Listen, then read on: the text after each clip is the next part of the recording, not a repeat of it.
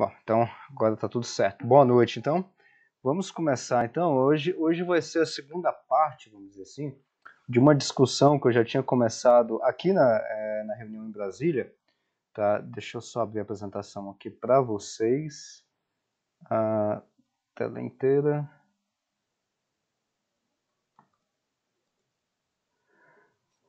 Deixa eu ver se está abrindo. Vocês conseguem visualizar aí os slides? Está dando para ver direitinho? Então, tá tranquilo. Então, é, hoje é a segunda parte dessa discussão sobre Gênesis 1, especificamente sobre Gênesis capítulo 1, né, que a gente está tratando sobre a questão da criação, criação do mundo, tá? A gente está focado nisso. A gente ainda vai ter outras duas reuniões aqui em Brasília, que é de terça-feira a gente faz as reuniões aqui em Brasília, às 20 horas, e a gente vai ter outras duas reuniões as nossas sempre são a cada 15 dias, para falar especificamente da criação do homem, questão de queda e tudo mais.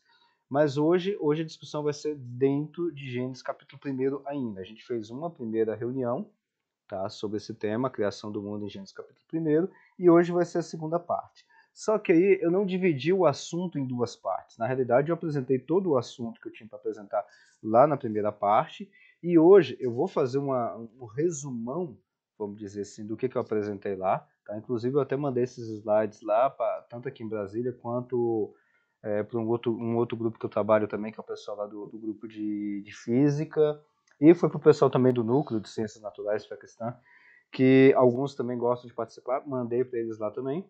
Tá? Então, tanto os slides de agora quanto da reunião passada também. Então, vocês, quem estiver comparando os dois slides, é praticamente a mesma coisa, só que os de hoje é muito mais resumido e uh, o que, que eu quero hoje aqui é mais ou menos o seguinte: fazer esse resumo, essa retomada do que a gente falou na reunião anterior, mas fazer um resumo ou pegar uma retomada das visões cristãs sobre criação, é, obviamente aqui sobre criação do mundo, especificamente a questão da criação do mundo, aquelas visões de criação da Terra jovem, de Terra antiga, é, design inteligente criacionismo evolucionário. Vou retomar, ou seja, eu vou, eu vou dar uma resumida porque a gente já viu aqui também, é, aqui em Brasília, essas reuniões tá, sobre, esses, sobre essas visões especificamente, a gente trabalhou com cada uma delas. Na realidade, a gente não trabalhou ainda o criacionismo evolutivo ou evolucionário. Tá? Não de uma forma específica, mas eu estou trabalhando de uma forma, vamos dizer assim, a, a, diluída. Tá? Mas ainda vamos ter uma reunião específica sobre. É, sobre o criacionismo evolucionário. Ainda não tivemos. Mas design inteligente, criacionismo da Terra Jovem e o criacionismo da Terra Antiga a gente já teve. Então eu vou dar uma, um resumão nessas outras visões, também o criacionismo evolucionário. Tá? A gente já viu isso aqui em Brasília, mas foi, se não me engano, ano passado. Tá? Mas não tem problema. Aqui dá pra gente, é, pro nosso propósito aqui não vai ter nenhum problema. Depois dessa revisão, vamos dizer assim, geral, aí eu quero abrir para discussão. E aqui entra, entra a gente, nós que já estamos aqui. O que, que vocês pensam sobre a questão da criação do mundo em vista do que a gente já viu? Eu, quem não viu ainda, eu vou dar uma, uma revisada aqui. E em vista daquilo que, daquilo que vocês já trabalharam, daquilo que vocês já pensaram, já leram e tudo mais, tá? Então, uh, eu estou gravando a reunião aqui, na realidade eu estou gravando só essa apresentação. Depois que eu terminar a apresentação aqui, eu fecho e aí a gente, eu fecho a gravação e a, a gente faz a nossa discussão normalmente, tá?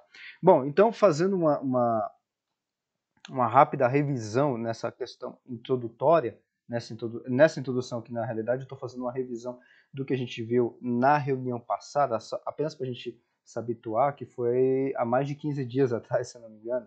Na verdade tem um mês, porque a gente teve uma jornada aí no meio e tal, e aí não, a gente não teve reunião nesse meio tempo. Bom, e a revisão é mais ou menos o seguinte, na reunião passada eu detalhei isso uh, a definição de mito, tá? Porque mito a gente pensa, a gente imagina que mito é uma história inventada, aquelas coisas de mitologia grega, aquelas a história da carochinha. É, é, a gente confunde modernamente mito com, com, com aquelas histórias, histórias da Disney, histórias de conto de fadas, aquela coisa toda.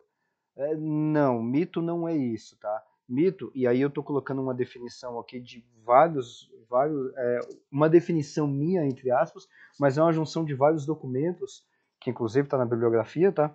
Uh, com relação a isso. Então, mito, de uma forma bastante geral, é uma narrativa, veja que é um gênero literário, narrativa simbólica e magética de explicação e demonstração de como as coisas se originaram através de personagens diversos.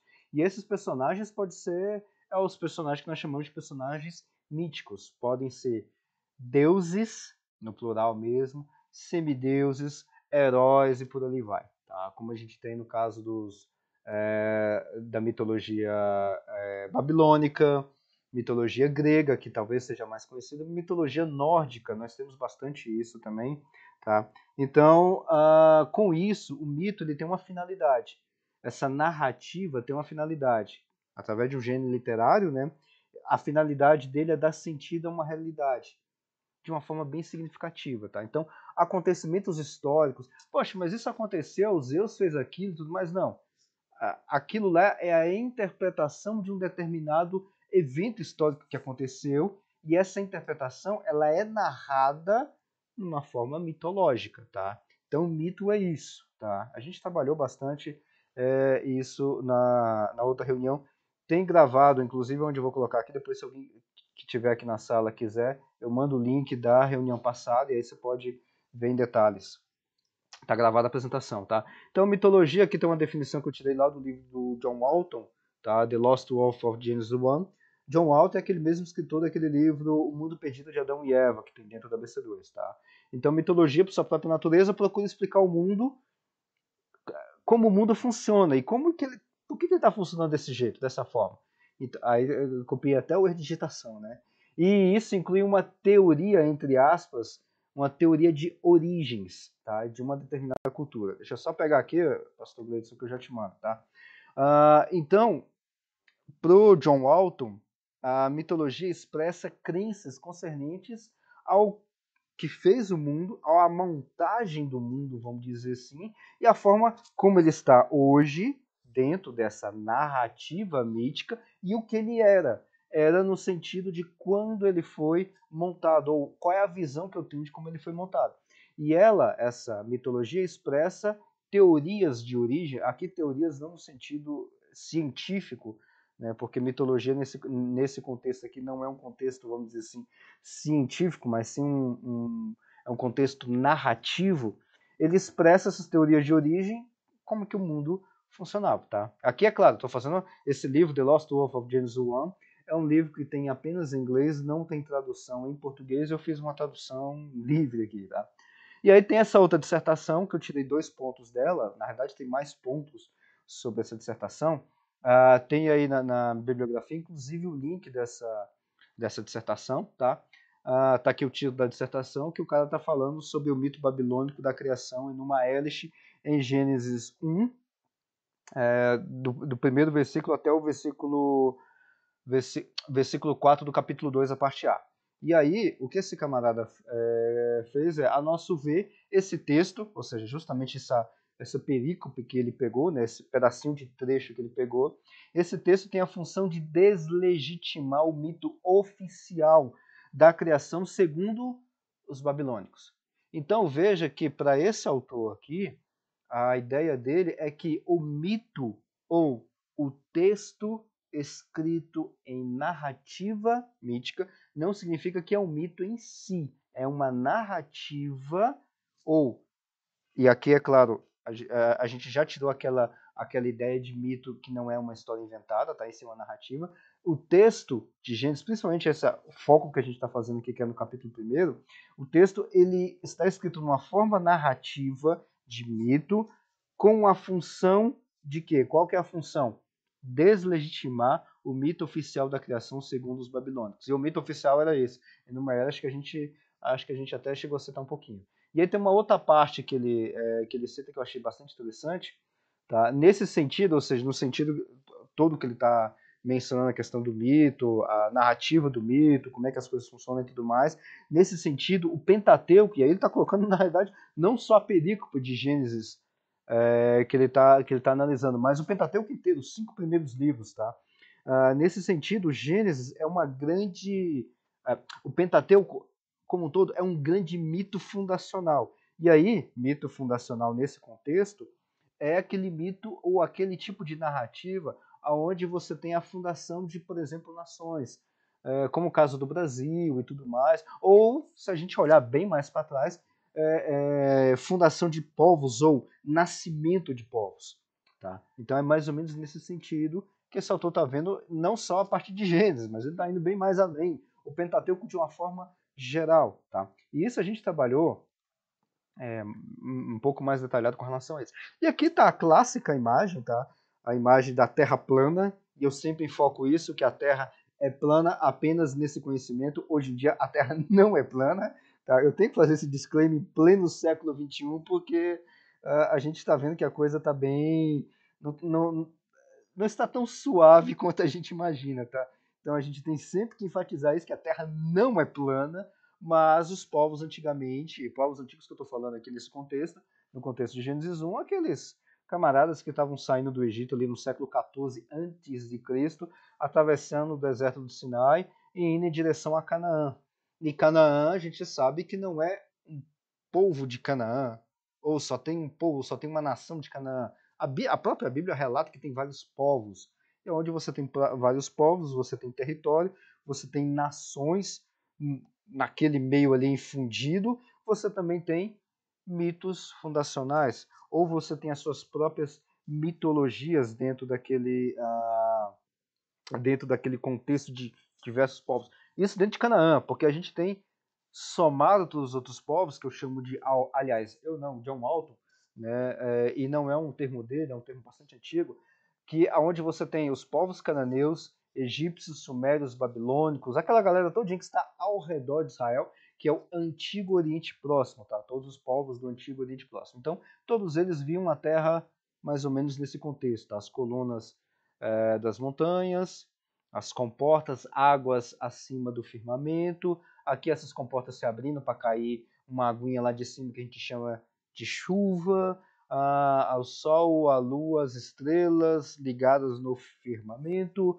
o inferno, na verdade é uma tradução em latim da palavra hebraica Sheol, que literalmente significa apenas sepultura, onde os mortos dormem, ou onde os mortos ficam, tá? Eles tinham uma concepção completamente diferente da concepção, vamos dizer assim, dantiana, a gente pode chamar de dantiana, né? Porque o, o Dante, Dante Alighieri, que fez, aliás, não fez, ele é que pintou de uma forma bastante. É, é, eu, eu, eu, chamaria até de, de bela, como que é a concepção, ah, claro, artística, né? A concepção de céu, de inferno e tudo mais, aqueles círculos de inferno, né? Naquele, naquele livro A Divina Comédia, né? Então a gente tem uma concepção é, atual hoje em dia dentro do cristianismo, né? E aí aí é uma outra discussão que a gente pode investigar isso até quanto que isso é bíblico, não é bíblico, ou até quanto que isso é o nosso próprio imaginário, a questão de inferno, né, como um lugar de tormento, ou aqueles círculos, ou por ali vai, tá? Uh, mas aqui não, aqui a concepção que o pessoal tinha, não, da, não dessa palavra inferno, mas de Sheol, era apenas um lugar aonde os mortos dormiam, tá? Ou para onde o camarada, depois que morria, ficava por ali. Ou, na época de Jesus, também se chamava de seio de Abraão, tá? Ou lugar de tormento, que era um lugar do lado do seio de Abraão, tá?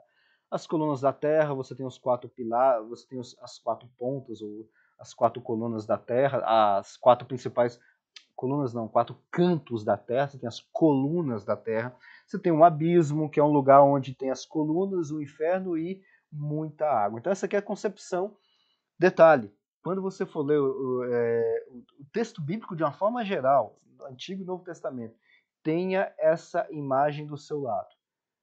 Quando o texto falar de estrelas caindo do céu lá em Apocalipse, do dilúvio, com portas do céu se abrindo, uh, fontes de água do abismo lá no dilúvio se abrindo, uh, Deus fazendo separação é, entre eh, Deus fazendo firmamento ou elevando o firmamento, fazendo separação entre águas e águas e aparecendo a porção seca, tenha essa imagem em mente. Tá? É disso aqui que o texto, ou o Moisés, vamos colocar assim, que é o escritor lá de Gênesis, tem dentro da sua cabeça, ele tem essa imagem aqui, tá?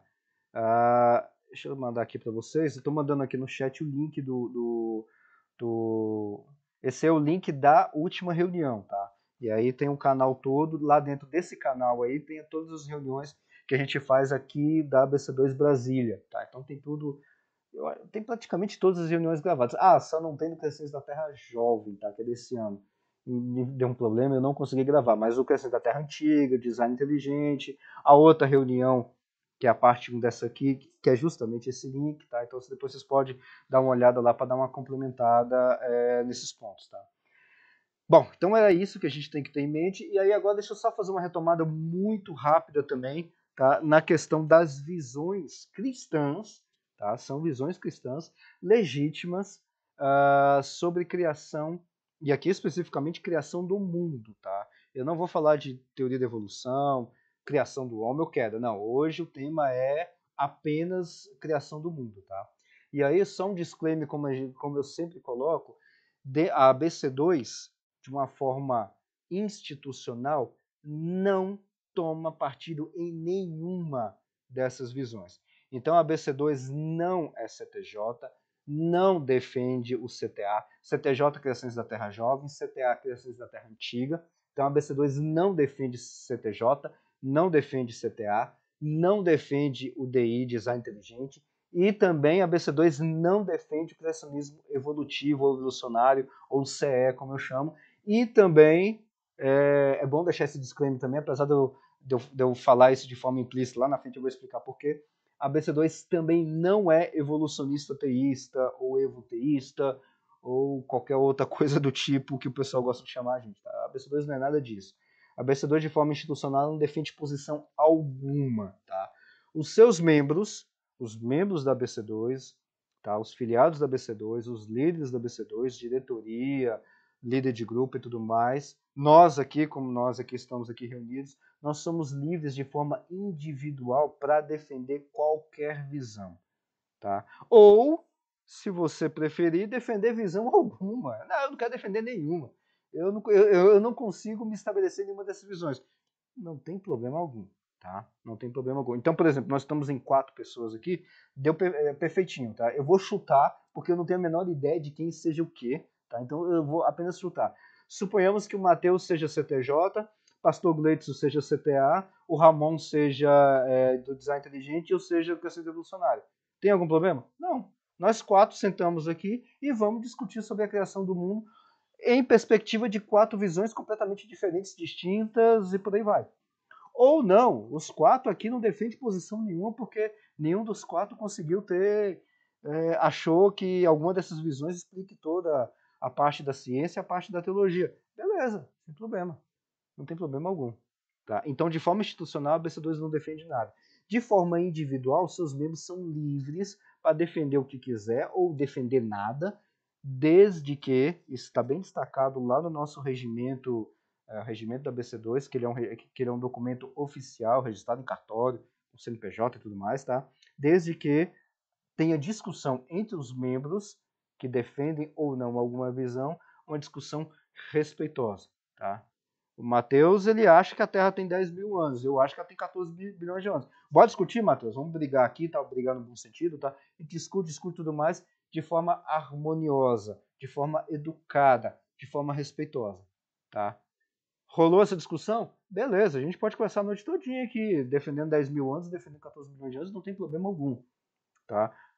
Não tem problema algum. E a BC2 não vai interferir de forma institucional, a diretoria, ó, oh, Alexandre, ó, pode parar com esses 14 bilhões de anos aí, vai defender a mesma visão do Matheus, que é de 10 mil anos, ou vice-versa. Isso jamais vai acontecer. Se a nossa discussão for respeitosa, não há problema algum. Tá? Bom, então, dado esse grande disclaimer, tá? eu sempre gosto de deixar isso de forma explícita, destacada. Tá? Então, de uma forma geral, o que, que o CTJ, Criacionismo da Terra Jovem, fala sobre a criação do mundo. Tá? É uma visão bastante simples no sentido de, de, de entendimento de como é que ela funciona. O CTJ ele pega exatamente como está no nosso texto bíblico, na nossa Bíblia, em Gênesis capítulo 1, em português mesmo, ou em inglês, tanto faz, mas ali e você faz uma leitura da criação do mundo de forma exatamente como está ali, de forma descritiva. Tá? Então, por isso que eu coloquei leitura bíblica natural. Você não vai fazer interpretação, poxa, essa palavra aqui lá no hebraico está torru e vaborru.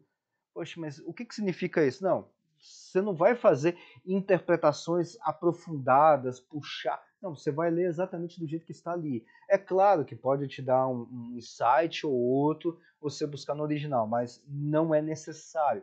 Então você vai fazer uma leitura do jeito que está ali. Se a Bíblia está dizendo, no português ou lá no inglês ou em qualquer outro idioma, que a terra era sem forma e vazia, quer dizer que a terra era sem forma e vazia. A terra não tinha uma forma e ela não estava preenchida. É exatamente do jeito que está ali escrito no texto, tá?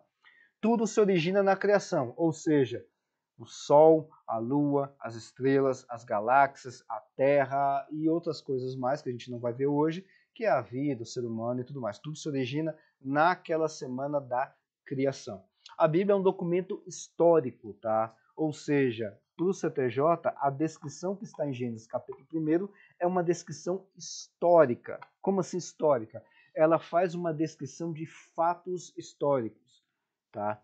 No primeiro dia, Deus. É, é, é no primeiro dia, Deus criou a luz, haja luz e houve luz. Então, exata, antes do primeiro dia não tinha luz e não tinha trevas. No primeiro dia, Deus fez a luz e fez separação das trevas. No quarto dia, Deus fez a criação dos, das estrelas, por exemplo. Então, é porque no terceiro dia não tinha estrelas. No quarto dia você tem as estrelas. Tá? Então, ela é um documento histórico, nesse sentido de narrativa de um é, narrativa de fatos históricos. Os dias, como está escrito lá no texto, são dias de 24 horas, igual no nosso relógio mesmo. Rodou ali meio-dia, três da tarde, nove da noite, onze da noite, meia-noite, acabou o dia primeiro, já vai começar o dia segundo, tá? Ou o segundo dia, tá? Então os dias são de 24 horas. Ordem bíblica é a ordem da criação, ou seja, no primeiro dia você tem a criação daquelas coisas, segundo dia daquelas outras coisas e assim sucessivamente, ou seja, em uma ordem que no que as coisas que aparecem no quinto dia não tinha no terceiro dia, por exemplo, tá? Então é uma é, é, é, é uma ordem não é uma ordem cronológica, é uma. É, como é que a gente fala na matemática? É uma ordem enumerada. Agora eu lembrei, tá? É uma expressão que a gente utiliza lá na matemática, tá? É uma ordem enumerada. É exatamente naquela numeração e anterior àquilo. Por exemplo, o ser humano veio no sexto dia. Isso significa que no quinto dia não tinha ser humano, tá? Criação instantânea de forma sobrenatural. Então aqui dentro da criação do mundo, por exemplo, na semana da criação, você não tem evoluções cosmológicas, tá? Você tem as coisas sendo criadas de forma instantânea. Por exemplo, como é que Deus criou as estrelas no quarto dia? Exatamente como está lá escrito no texto bíblico, e fez as estrelas. Aqui não tem estrela, agora tem estrela. Pronto, acabou. Literalmente nesse formato, de uma forma instantânea, ou seja, sem nenhum processo, e de uma forma sobrenatural. Não tem estrela, agora tem estrela, tá? de uma forma direta. Ah, essa é a leitura que o CTJ. É claro, tem milhões de outros detalhes, inclusive na. Deixa eu até mandar o link aqui para vocês também, que eu vou procurar. Ah, dentro do canal da, do Núcleo de Ciências Naturais e Fé Cristã, nós estamos tendo. Ah, deixa, eu, tá, deixa eu pegar aqui. A gente está tendo lá dentro, além das nossas reuniões a cada 15 dias, e sábado agora a gente vai ter reunião, a gente tem lives uh, que estamos fazendo nas segundas-feiras, estamos gravando e deixando lá no canal, tá? Lives sobre as visões. E tem um detalhe bem, bastante interessante. Nós estamos chamando pessoas que acreditam e defendem essas visões de forma explícita e de forma argumentativa completa. Estamos fazendo duas lives para cada uma dessas visões. E a gente já teve até agora duas lives para o Criações da Terra Jovem. Foi lá dois camaradas, o professor Christian e o cara lá de Maringá, o Danilo, tá? É, eles, é, eles apresentaram e na outra live eles tiraram dúvidas sobre o CTJ, tá? E eles acreditam e defendem o CTJ, tá? Eu, eu vou pegar aqui a live, que eu acabei esquecendo qual que é o canal aqui, e aí eu já mando aqui no, no, no chat para vocês. Aí depois vocês podem, só tem o CTJ por enquanto. A gente ainda vai ter o CTA, vai ter o design inteligente vai ter o crescimento é, evolutivo, tá? Ou seja, as quatro visões, tá? E é claro que aqui se vocês pegar isso aqui que eu falei com o que eles falaram, é, é, é ínfimo, tá? Tem muito mais detalhes, tá? CTA, de uma forma também bastante resumida, é isso aqui. Temos várias interpretações para a palavra dia, tá? Palavra dia que, tá lá, que vem lá do hebraico yom, tá? Aquele dia, o dia do Senhor, o dia 1, o dia 3, o, dia, o quinto dia e tudo mais. Então tem, dentro do Criações da Terra Antiga, tem várias interpretações sobre essa palavra dia. Então o dia pode ser de 24 horas, é, pode ser, mas entre, entre, entre um dia e outro dia, você não tem 24 horas, você tem milhares de anos, milhões de anos, bilhões de anos, você pode ter eras, você tem diversas interpretações tá, dentro do CTA, dentro do Criações da Terra Jovem. Uh, uma outra, um outro detalhe do Criações da Terra Jovem, da Terra Antiga, Terra Antiga, Terra Jovem anterior, da Terra Antiga, é uma forte concordância, ou o que eu estou chamando de concordismo, tá? O que, que é isso? É, concordismo aqui no caso é concordando com a narrativa bíblica, a, a narrativa científica, tá? Então, se eu estou vendo evolução do, do, universo, é como se fosse o quarto dia da criação. Então, apareceu as estrelas. Na realidade, o quarto dia da criação, onde aparecem as estrelas, tem milhões ou bilhões de anos para dar para dar aquele tempo de evolução estelar, que é o que diz na astronomia. Então, dentro do CTA tem muito essa ideia de, é, é, de concordismo, de concordar a ciência e a teologia, ou o texto bíblico, uh, de uma forma que os dois vão acabar se encaixando em milhares, milhões ou até bilhões de anos. Tá? Criação instantânea e sobrenatural para quase todos os objetos físicos. Não são todos, são quase todos. Por exemplo, a no criacionismo da Terra Antiga, eles não acreditam que o homem veio de processos evolutivos, e sim que o ser humano é, surgiu aqui na Terra como o criacionismo da Terra jovem uh, defende, de uma forma instantânea, de uma forma onde Deus monta o barro, assopra naquele barro e o ser humano aparece, tá? E de outros, é, outros objetos físicos também que você não tinha, eles não apareceram de uma forma evolutiva no sentido cosmológico, por exemplo, e dentro da semana da criação eles acabam aparecendo. É disso que eu estou colocando. N são quase todos, mas não são todos, que, por exemplo, na questão evolutiva das galáxias, das estrelas, para o CTA você tem processos físicos bem conhecidos, que é o que a gente trabalha lá dentro da cosmologia, tá? E, bom, que é exatamente esse último ponto aqui, processos cosmológicos e astrofísicos ao longo do tempo, incluindo intervenção divina nos que não têm solução. O que, que é isso? Em outras palavras, é mais ou menos o seguinte: olha, ah, tem alguns casos que a gente não consegue explicar, ou até agora a ciência não consegue explicar, a ciência dentro da cosmologia e da astrofísica não consegue explicar, por exemplo, as, a, a, evolução de galáxias com buracos negros. Quem veio primeiro, buraco negro ou veio a galáxia? A gente não sabe. Então, para achar uma solução para isso, Deus criou o buraco negro e criou a galáxia já pronta. Tá? chutando um exemplo, não é isso que eles fazem. Tá? É, tem outros é, exemplos que eu estou tentando puxar da memória algum aqui, mas eu não estou lembrando de nenhum. É, de nenhum específico, tá? Mas seria mais ou menos isso, tá? Então, onde não tem uma solução física, vamos dizer assim, é uma intervenção divina. É algo parecido com aquela ideia de o Deus das lacunas, tá? É algo mais ou menos parecido, tá? Bom, criacionismo evolucionário, o CE, é a junção de modelos interpretativos auxiliares na teologia e cosmologia e geofísica sem modificações científicas milagrosas, entre aspas, no sentido de Hillman aqui, que Hillman dizia que os milagres eram quebra de leis físicas, tá? Dentro do criacionismo evolutivo, evolucionário, dentro desse modelo, nós não temos quebra de leis físicas, nós temos Deus agindo na natureza de uma forma, ou utilizando os processos evolutivos tanto da cosmologia que é o nosso foco de hoje, quanto é, é, é, processos evolutivos da vida, e aqui já é questão da Terra, tá? Deus está utilizando desses processos, dessas leis que ele mesmo criou, para poder criar, para fazer toda a criação. E como é que fica o texto bíblico? O texto bíblico, ele vai, é, vamos dizer assim, ele vai ter uma interpretação dentro daquela ideia que eu coloquei na reunião da semana passada, por exemplo, porque aquilo lá é um modelo que o John Walton, ali especificamente eu puxei do John Walton, vai trabalhar, tá?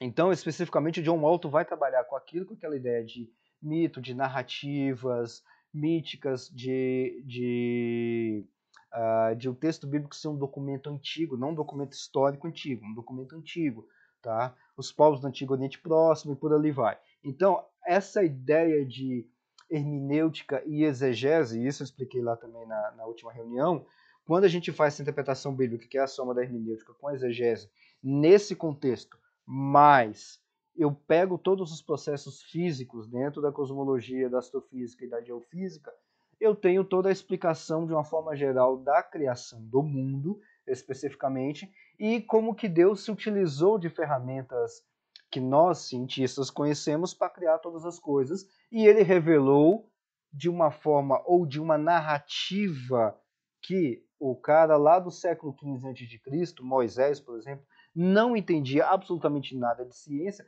pudesse entender que Deus criou todas as coisas. Como é que Moisés entendeu que Deus criou todas as coisas? Naquela narrativa mítica, como ele descreveu, porque Deus se revelou naquele formato. Não é que Deus se revelou dentro do criacionismo evolucionário e evolutivo, não é que Deus se revelou através da cosmologia, Moisés não entendeu e narrou num formato mítico. Não. Deus acomodou, como dizia Calvino, acomodou a sua mensagem para Moisés, não explicando detalhes, detalhes no sentido detalhes físicos que para ele Deus e para Moisés não importavam naquela narrativa de Gênesis, tá? Aquilo lá vamos deixar para os camaradas do século 21 que eles vão se virar com a ciência lá para poder entender isso. Moisés, nós dois aqui é outra história. Começa a escrever aí. Você não entende milhões de anos, né? Então você entende o quê? Semana de dias? Você entende só reloginho de 24 horas? Então bora escrever aí. Pega a caneta aí, vamos escrever no papel aí. Ensina aí para os israelitas que estão saindo da terra do Egito como é que é a criação em seis dias de 24 horas. É claro que eu estou fazendo a palavras aqui gigantesca, né? Não foi isso que aconteceu. Mas é a forma que Deus, entre aspas, encontrou para poder acomodar a sua revelação especial, que não é revelação geral. Revelação geral é nós cientistas que nos viramos para entender a criação, que Deus achou para poder se revelar de uma forma especial, tá? Então essa é a ideia do criacionismo evolucionário, tá? A gente vai ver isso numa outra reunião é, mais para frente aqui em Brasília e como eu falei tem as reuniões lá do ah, tem as lives lá, da, lá do núcleo e vai ter uma específica sobre o criacionismo evolucionário, tá? Bom, diante de tudo isso que eu falei para vocês da reunião da semana passada, da a, quase um mês atrás praticamente, mas essas visões de criações da Terra Jovem, da Terra Antiga, design inteligente. Ah, eu não falei do design inteligente, né? Pois é, por que, que eu não falei do design inteligente? Acabei esquecendo de. Eu devia ter colocado aqui pelo menos um ponto para destacar. Por que, que eu não falei do design inteligente? O design inteligente ele não tem uma estrutura como o criacionismo evolucionário, o CTJ e o CTA, uma estrutura é, bem definida de como é que as coisas se formaram criacionismo, o design inteligente, a ideia dele é mais argumentativa e é mais focada na, focada na questão do argumento de designer, não argumento do designer. Argumento do design é outra coisa. Argumento de design, ou seja, eles tentam pegar essa argumentação de designer, de projeto, de projetista das coisas, tá? E colocam isso dentro da, da, da natureza de uma forma geral. E o camarada que acredita no design inteligente, ele não é nenhuma dessas. Ele não, ele não tem uma, uma estrutura muito bem fechada e muito bem formada sobre a questão de como é que Deus criou todas as coisas. Aí ele se acopla no criacionismo da Terra Jovem ou da Terra Antiga. Ele não se acopla ao criacionismo evolucionário, tá? Design inteligente, apesar de que tem alguns que se acoplam ali de uma forma bem, bem interessante, tá? Porque o design inteligente é completamente contrário a, por exemplo, ao, a evolução tanto cosmológica, em boa parte, nem todos, mas a, a evolução biológica, tá? A evolução biológica eles praticamente descartam, tá? Uh, mas tem alguns, engraçado isso, tá? Então, o camarada que acredita no design inteligente, ele vai se acoplar ou ao CTJ ou ao CTA. Por isso que eu não coloquei aqui, porque a nossa nosso foco é na criação do mundo e quem é que explica a criação do mundo? Essas três visões o DI vai vir para acoplar em alguma dessas três, ou alguma dessas duas visões, que no CE ele não vai se acoplar. Tá? Bom, diante disso, tem saída? Como é que a gente faz com Gênesis 1? Como é que a gente faz com a criação do mundo? E é essa discussão que eu quero abrir aqui com vocês. Eu quero agora, antes de eu falar mais alguma coisa, eu quero justamente ouvir aqui é, entre a gente sobre como é que como é que dá para sair com isso, né? A gente vai ler o texto de Gênesis 1, criação do mundo de forma literal, de uma forma de narrativa mítica, de uma forma que cada dia é milhões, bilhões de anos, uh, ou e aí não, não, não, não tem saída alguma. A gente está na encruzilhada e não tem como sair, tá? E aqui, bom, aqui só para concluir os slides, a gente já começa a nossa discussão, tá aqui a bibliografia, a, a dissertação que eu puxei aqueles pontos, está aqui o link dela, depois vocês podem dar uma olhada nela, tá? Nesse site aqui eu coloco algumas coisas, algumas coisas que eu escrevo toda quinta, toda sexta e sábado sai artigo em português lá falando de cosmologia e teologia. Eu deixo o convite para vocês darem uma, uma olhada lá também. As lives é, sobre as visões cristãs sobre as origens, eu até coloquei o link. É, coloquei o link. É, na realidade, eu coloquei não o, o link que eu coloquei aqui no chat não foi das lives, mas eu coloquei o link do canal, que também tá nas lives lá, então vocês podem olhar em detalhes tanto aqui quanto é, no link que eu coloquei no chat, fiquem à vontade. Tá? Os livros, alguns livros aqui que eu recomendo, a Origem, Quatro Visões Cristãs sobre Criação, Evolução e Design Inteligente, que vai estar o Criações da Terra Jovem, da Terra Antiga, o Design Inteligente e o Criacionismo Evolutivo, tá? Falando dessas quatro visões dentro desse livro. O dicionário, que todo mundo conhece, Dicionário de Criacionismo e Ciência, da editora Thomas Nelson Brasil. O livro que eu citei lá, O Mundo Perdido de Adão e Eva, do John Alton, e o outro livro que não tem tradução em português, mas ele é muito bom também, é The Lost Wolf of Genesis 1, Tá? Excelente esse livro, tá? Em uma mini agenda, eu vou passar muito rapidamente que depois vocês podem é, olhar em detalhes uh, nos slides.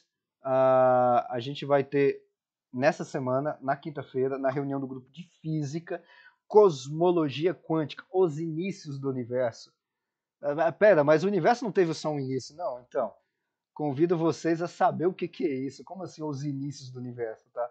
Então, deixa o convite para vocês lá para participar com a gente.